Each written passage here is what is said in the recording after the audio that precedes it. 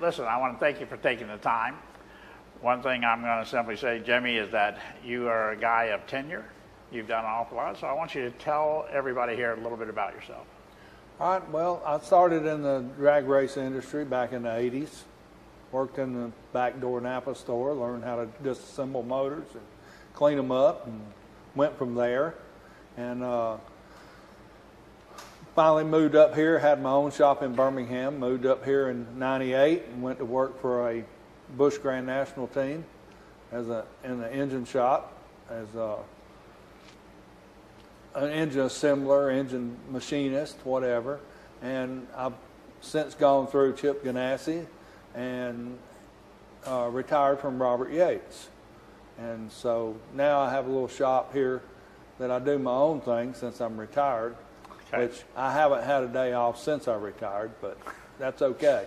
Got to stay busy. Yeah. Well, it's, it's obviously uh, part of your DNA. You love this stuff. Now, you know, with the diversity of all your products, all the different engines, you know, from Top Fuel to uh, the smallest engine you've ever built, inline four cylinders, V8s, uh, normally aspirated, power boosted, supercharged. Uh, there's a common thread in engine. Now, I can't go into all the things that you know, and, and like I say, you, again, one of those guys that have forgot more than I know. But here's one question I have. The common thing about all engines, cranks go round and round, pistons go up and down. Now, in order for that to be efficient, now we have bearings and we have clearances and we have all these things that you take care of in the assembly. But what about balance? How does that play into you? Well, the balance gives it longevity. Okay? It, it'll run for a length of time, whether it's balanced or not. But the parts are going to the parts are going to fatigue, and uh, it's just like on a million mile diesel motor. The hone has to be right. The balance has to be right. Everything has to be correct for it to last that time. So you're adding longevity by balancing. Now, four cylinders, that's a different story. They're Sure. going to have a vibration in them at some point in the range. Mm-hmm. By balancing the four cylinder, you move the vibration out of your power range Okay. and put it down where it doesn't matter as much. But Okay. when it's at running at peak song and for, for a race motor, for instance, the 24 hours of Daytona, that thing's got to run 24 hours. It better be smooth at the horsepower reading where you want to run it. If you're going to run it at 7,400 RPM for 24 hours, it better be smooth there or it ain't going to stay together. That four cylinder will machine, it will machine the U joints out, it will machine the clutch hub out, it will machine everything just like you put it in a lathe and cut it out. So you have a race car lathe, is what you're saying. Yes, Okay. yes. Well, uh, you know, there's all sorts of different theories, uh, overbalance, underbalance, and we accept the fact that people have, especially engine builders, they do come up with what they consider their recipe that's optimum. And the way you get the recipe, you, you don't get it from your drag racer that you see their mo- motor once a year. Okay? You don't get it from your boat guy that's out with his family. You get it from the engines that you tear down every week. All right, and that engine, if you pay attention, will tell you what it wants. But you have to look at it every time. I mean, a top fuel engine, you tear it down every run. You can look and tell. You can actually tune by how much it crushes the bearings or whatever. Uh, the the stock car engines, you can tell if it's burning the push rods up. You can tell if it's out of balance if the bearing's fretting in the rod. If it wants a little overbalance or if it wants a little underbalance. It'll tell you by way the bearings are moving in the surfaces. And you can, if you look at it every week and you find this is wrong with it and you work on that problem and next week that problem's better, you know you move the right direction. Sometimes you move the wrong direction. 50, 50 yeah. There, there's not uh, there, there's not a one size fits all for anything, and there's not a a drag race motor is not the same as a round track motor, and a round track motor is not the same as a street motor. It just don't work that way. They all take different clearances and different specs, but the balance is the most critical to making longevity. So basically, though, whenever we do this kind of interpretation of how to handle things, the bearing is the go-to area, right? I would think so. Yeah. Y- yes. That's And, the uh, scene of the crime, right? Right. And if you look at the bearings every week and you adjust your balance up or down, when you get the bearings look like they come out of the box after 500 miles, you're pretty close, whether it's balance or clearance or, or a certain type of oil. Sure. But it's all works together in conjunction. Well, one of the things there is, in a lot of our work covers a vast array of engine application and racing, you know, drag racing. You know, I always joke about it that if you took a season of racing, they didn't have an hour on the engine, Right. right? And then, of course, I go to a road race course that's, uh, let's, let's do a 24 hour in Daytona. That's 24 hours. Yes. Okay. So this thing is just constantly, constantly just wearing. And I always use the term a little baby with a little hammer un- unattended that can destroy anything. Right. So it's a matter of this little bit of energy that's pragmatic, won't release, can't change. It's not like you change a spark plug and clean up a cylinder or change an injector or something like that. Balancing is forever. We agree? Uh, balancing is forever. And the only thing that, the, the worst thing that can happen is you lose a cylinder in a motor because then you've got firing pulses that are out of balance. There you And go. that's why you have a harmonic dampener and stuff on it to take care of that stuff that you can't do That's on an- the balance machine. Absolutely, that's an excellent part. In other words, this part right here in this machine, or any machine, let's be fair about it, can only do what's called first order balance. Right. But every 90 degrees on a V8, we get a power stroke. All right. So what we have is four cycles plus the first cycle. Now, one of the things we do want to do in, in balancing is we'll notice on this particular crank, this is the counterweight at the moment is straight up, and you notice the rear is straight down. If I was to draw a line from this tip to this tip, ideally we go right through dead center at the main. Well, that's what this optimum balance situation is. We want whatever energy is here. I'll just use 10 grams and 10 grams, or let's make it 100 and 100. If it goes straight through, it's zero right here. Right? Now, unfortunately, we'll see situations where this one may be here. That's where the load moment is. And then this guy is here. In other words, they're not canceling. All right? That's called coupling. If you can't couple, then instead of having one pulse, you'll end up with three pulse. Now, the problem with that is as we decrease the magnitude, that is the amount of energy. But however, I'm back from big hammer to little hammer. Right. Now I got three hammers on one rotation, plus the four power strokes. So you can uh, understand the connoisseur like you are balancing. You're going to sit there. Oops, excuse me.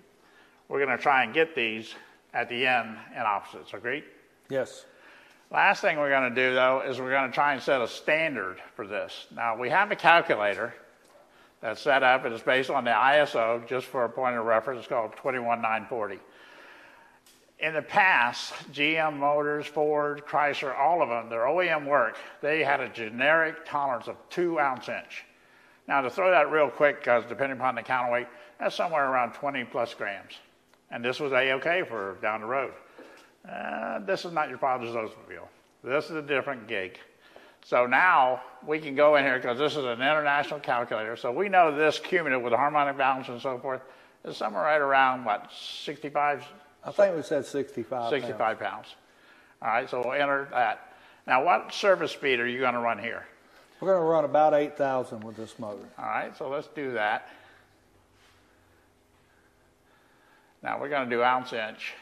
That's telling us we want to be 0.154 ounce inch. That's a little confusing at times. So what I want to know is what's the radius here? What do we have in the? Three and a half inches. All right, so what I'm going to do is I'm just going to import that right there. I'm going to do it here. And it's now going to tell me at that counterweight, I want to have 1.247 grams. So I've taken this number and basically converted it so I have a better understanding what's residual to the crank. Notice that's not 20 grams. That's what it used to be.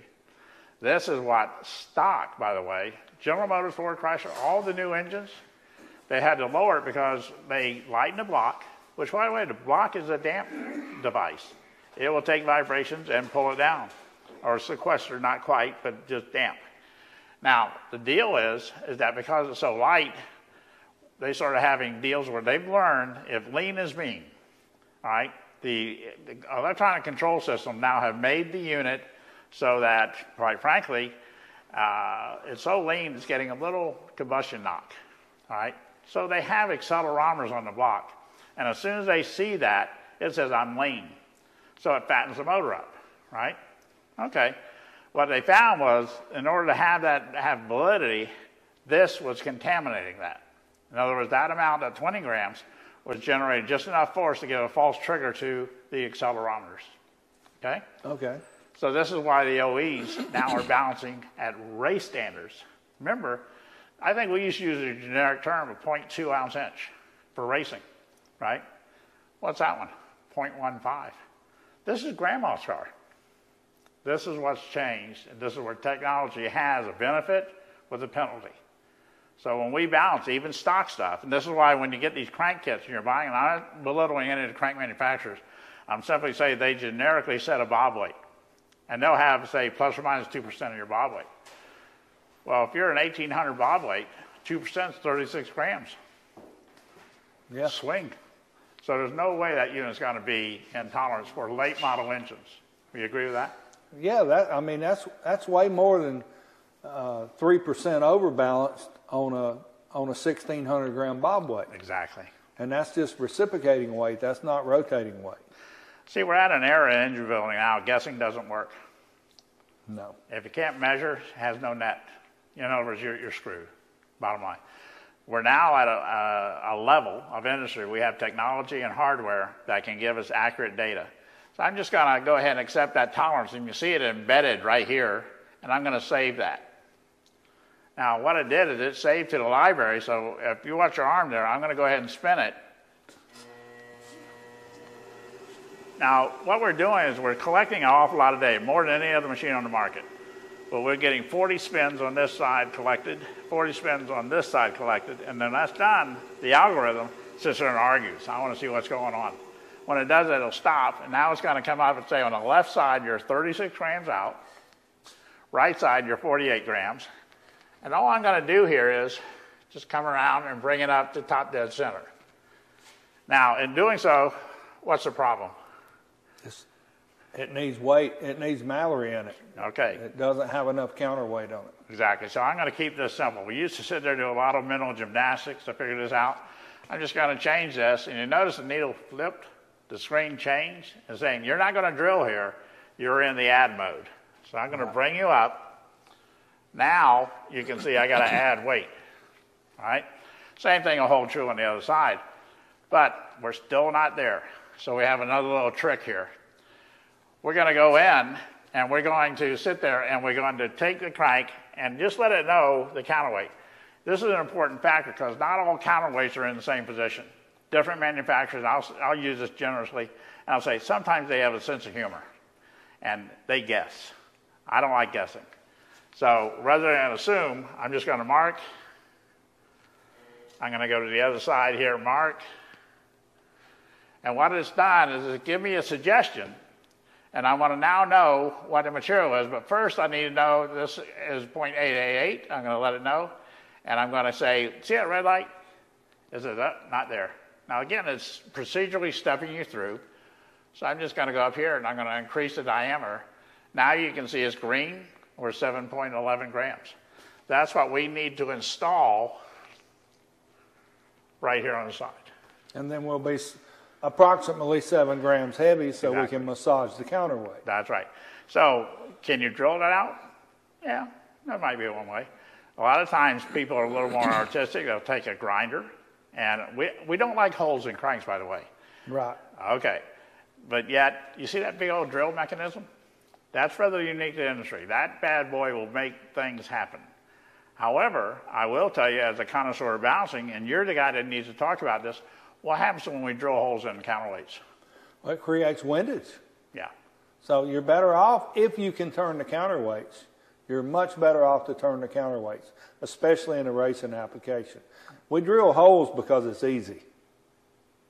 But there's a penalty for that There's a penalty by the aeration in the oil and the wind is in the oil pan. So how about grandma's car? What if we just drill her? She's not going to be 8,000. No, I mean, Unless Grandma, you're, I guess, unless remember the old drag on lady, the drag racer. I mean, she might be the exception. Uh, I mean, we drill a lot of counterweights, Okay. but they're, but they're relatively low RPM motors. And, and we do turn counterweights and still drill holes, but we try to keep it to a drill point Right. rather than a long hole. Well, interesting enough, as you drill that, you now take the, the benefit of the counterweight, which has multiple purposes, not just for balance. It also adds strength to the crank. It also acts as a damper, believe it or not, because that mass is harder to push, so it dampens some of the torsion out. But the bottom line is you can go over center and create a whole new problem, especially in racing, that it, it, all of a sudden the bearing's mad. Right? All of a sudden everything, even the, all the way up to the valve train's mad right? Because that crank doesn't just have unbalance; it's no no longer structurally supportive. It's wiggling, right? So at any rate, on this particular one, let's do it real quick on this guy. Again, I'm going to set it up, align it, let it know. We'll go to the other side here real quick, and we're going to do this, and I'm going to go back in and size it. And you notice it went red, so it says, okay, give me an opportunity to fix that. Now this one's 12 grams over, 7 grams. But you now have a target register that you'll set up in your machine here. You'll drill and ring, put it back on. It's going to be real close to these numbers, assuming you did what it said, not what you want. Got the one thing about computers, they don't lie. No, and if you don't give them the right information, they'll they will tell you the answer, but it won't be the right one. You have to put the right information in. Exactly. So, in a nutshell, this is technology to last summer. You are tenured your industry, or in this industry for a number of years. Is this the way that grandma used to do it, grandpa? Absolutely not. So, what does it really say? We what we used to have to do was clamp metal a metal weight in here and move it around until we got it as good as we could, Right. and then try to replicate that. Right. Guessing. and, and and we still got those pieces, and you know we still have metal slugs to go in here. Never put Mallory in in this direction; Why not? it'll fly out. Oh, that that okay. But I mean, if you want to put a steel plug in here and weld it in, that's fine. But don't put Mallory in in that direction. Now, isn't that because of the disparity of alloys, you know, density? Actually, you when you when you weld it in, you're actually not welding to the Mallory. There's two dissimilar metals. What you got to do is you got to build a dam wall there to hold it in, which you would never put it in that way. But if you put a steel slug in there that's compatible with the crank, you can physically weld the two pieces together. Sure. Welding 101, only weld similar materials, not dissimilar. Right? Uh, I mean, they make stuff for dissimilar, but not to hold mal- hold it in there. And also remember the reason we're doing this. Common sense says if it's going through the side, right, it ain't coming out. Right. All right. However, what happens when they drill them too big and then they slip them in there and they weld it, that Mallory into the crank? You're not welding to the Mallory. There you go. You're, you're, you're putting a daub of something on there? you're what I've had to do it, and I turn a taper on the crank and a taper on the Mallory, and I fill the taper up because the weld will stick to the crank. Well, now you've got a limit to keep that Mallory in there. It's not welded to the Mallory. You're building a dam where it can't come out. Now, I have seen people, and I haven't done it, but I have seen people put a piece of Mallory in here and to weld it in, you're wasting your time. But I've also seen them when they had to put a piece in here because of lack of counterweight. You go back and drill it and pin it To hold, to grab it. to hold to hold it. Yeah. But you have to pin all the way through the mal- Mallory and the crank, and you have to be low enough that it don't tear it out. Right. Because if that piece comes out of there, we had a piece come out, it'll knock a side out of the block, it'll knock a starter off, and it'll kill somebody if it hits them. Well, that's a good point because the service speed, let's go ahead and put it up at 10,000 RPM. Let's say we're about this radius right here. Everybody sort of has an idea what a 9 millimeter bolt is. That's bigger than 9 millimeter. You agree? That- that's that's more like a 12 gauge slug. There you go. And it's going to leave a mark that you're not going to like. No. Okay. So safety is always a concern. And by the way, the technician that puts that in, I, uh, my daughter's a lawyer. In fact, she's a judge now, and she'll tell you, you'll lose that court and case. More importantly, that's one thing to lose money. It's another thing to cause injury. Common sense says, don't do that. Yeah. Fair enough. Do not do that. All right. So now we've looked at this. We found out a quick remedy, but you sort of jumped ahead because you already had the bob weights on here. Now we have to build the bob weights based on pistons, rods, rings, bearings, uh, clip, pins, whatever the case is. Now you've already done that, and you put this up, and you've already populated this up here for us, and so you've had the advantage of knowing what the bob weight. So, all right, this is all pretty easy stuff. No worries. But the number one thing in building anything is accuracy. You agree? Primary. Correct. All right. Second thing of concern is what? Time. Yes. Out, time is money. Yeah, I check on that. 24 7. There is no 28 5. No. Nothing. I mean, it's just, No. it's, that's all there is. So when we do this, you've been doing this long enough. Where are you at with this kind of technology as opposed to what you used to do? Well, used to you, I mean, populating the bob weight card is great because one, it'll tell you if you're wrong. Right. Uh, which, if you do it with a pen and paper like we used to do it with a calculator, you better check it twice. Yeah. And you better check this twice too. Yeah. But I mean, you take a whole brand new rotating assembly, you go through this particular machine here, you can weigh all eight rods, big end and total weight. It'll Mm-hmm. give you the little end weight times eight. That's already in there. Right. And then you can go weigh every wrist pin and every piston and weigh your rings and your locks. And if you want to, this will sort this so that if you're a couple of grams over uh, with a tolerance in there, if you have a couple of grams either way, you put a tolerance in there, it'll tell you whether you're green or you're red. I'm going to tighten the tolerance a little bit there. Now you see it fell out. Right. Okay. And, and sorting it will take your heavy and your light and you match them together. It'll help you straighten this out without doing a bunch of machine work on the rods or a bunch of machine work on the piston. Because you go drilling a hole in a piston, you're structurally changing the strength of that piston. And grinding on the rod, you're going to make, if you grind enough on the bottom end of the rod, anytime you remove weight or remove metal off this rod, it's stress relieving and it's going to make this hole out of round. When you untorque it and torque it back up, it's not going to be what it was, and you're going to have to go back and rehone it to make it round. Well, let me, one of the things, now YouTube is sort of an interesting vehicle of knowledge. It's also an interesting vehicle of humor, and it's also dangerous input. All right, notice I'll save that for the last. In the days of old, when we made rods, we had weight pads. Yes. These are now called near shape. Now, the manufacturing developments that we had over here do a pretty good job. That's why we're looking here. But you cannot, under any circumstance, modify this and make it stronger. No. Can't even be the same. No, you can't. It'll be weaker. It's going to be weaker. You're going to take material off of these ribs, which is the strengthening of the cap, not to mention you're stress relieving that metal, and it's going to make this hole out of round. Well, so penalty, penalty, penalty. Yes. Okay. On the internet, I'm seeing a lot of guys, well-intended people, come out and talk about this, and they, these are gentlemen that are, they believe in themselves, and they say, "Well, we can go out and whisper this a little bit." All right. Or, and this is the worst one, right here. Get on this end. A lot of people. This rod is designed for what? Load in which direction? It's, it's in uh, not tension, but Right. Anyway. So when we then every engine goes in compression and then overlap, right? yes. And we're in overlap. What is the piston trying to do? The pit, piston's trying to pull off the end of the rod. That's It'll- right. It'll open the pin end up. So let's do this. Which end do you think stronger? Right, if I had to do something, you can see as I weaken this, there's more of a chance of separation.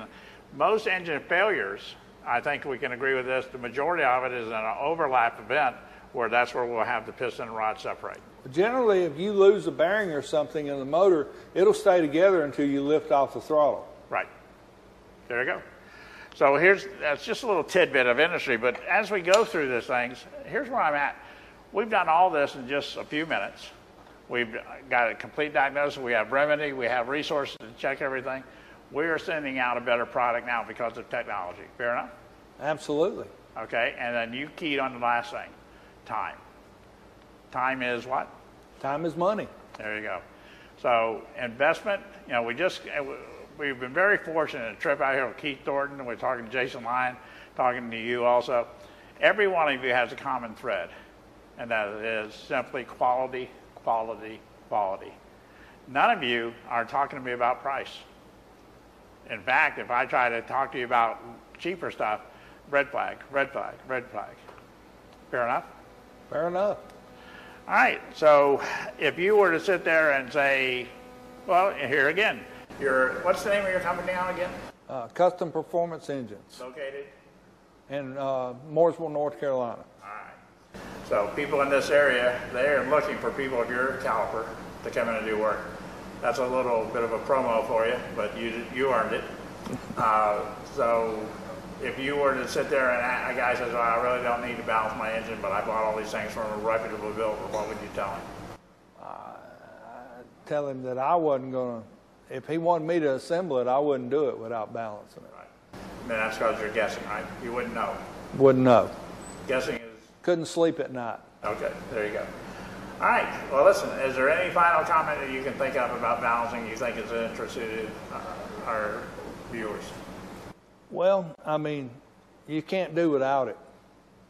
I mean, if unless I mean, I've checked a lot of production automotive engines, and I had one the other day that was an LS7 Corvette motor that we weighed all the parts and put it up here, and the crank was perfect.